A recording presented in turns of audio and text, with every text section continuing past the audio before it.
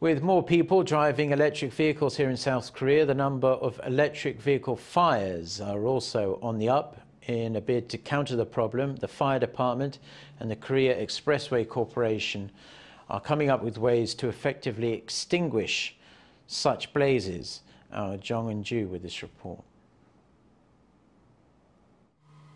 Firefighters cover a car that's caught fire with a special blanket. Once the flames disappear, they sprinkle water over the blanket to cool it down. As it's an electric car, emergency services would have to use copious amounts of water to distinguish the fire, and so have had found an alternative method.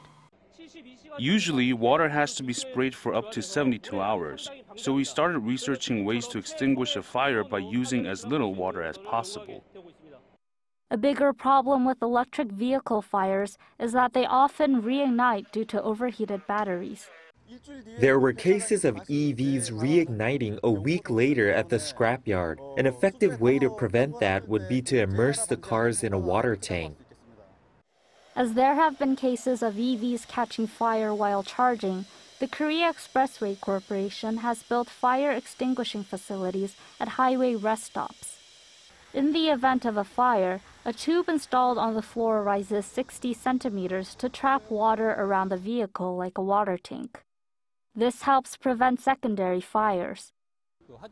There are many cases of electric vehicles catching fire while charging, so I thought highway rest areas should also have fire extinguishing facilities and installed them.